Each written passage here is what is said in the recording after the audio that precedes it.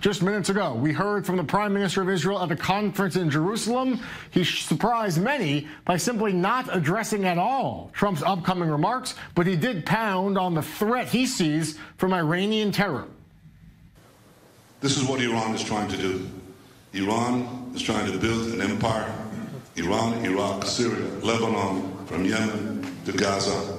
Ultimately, they want to conquer the Middle East. We will not let them establish themselves in Syria.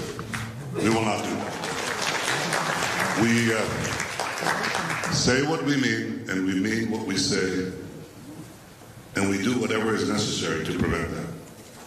But equally, I think this is not merely an Israeli interest. This is your interest.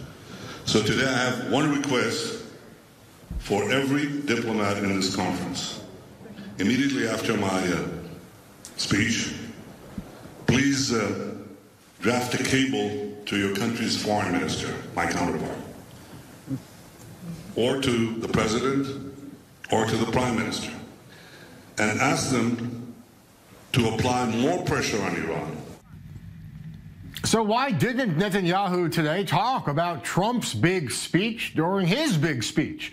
Channel 10 News reports that Trump specifically asked Netanyahu to, quote, keep a low profile and asked that other Israeli ministers do not rejoice over his announcement.